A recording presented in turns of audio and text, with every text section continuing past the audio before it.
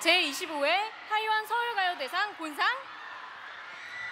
레드벨벳 축하드립니다. 네, 여러분 축하합니다. 축하합니다. 지난해 신인상을 받았고요. 올해는 본상을 수상하는 영예를 안게 됐네요. 네, 작년에 우리 현무 씨가 무척이나 좋아하던 모습이 아, 너무 좋아요. 넘넘넘. 이거 좋잖아요. 아, 넘넘넘넘넘넘. 아, 어, 너무 역시 우리 좋아요. 홍현무답습니다. 예, 예.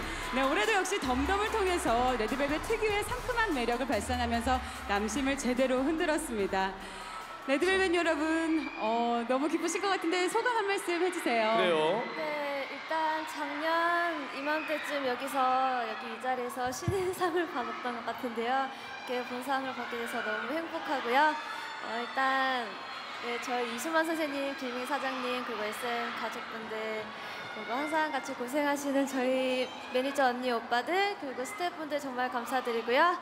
어, 어, 그리고 빼놓을 수 없는 저희 팬분들 항상 같이 응원해주시고 네, 힘내줘서 정말 감사하고 이번 2016년에도 같이 항상 힘내주고 같이 웃었으면 좋겠어요. 감사합니다. 새해 복 많이 받으세요. 감사합니다.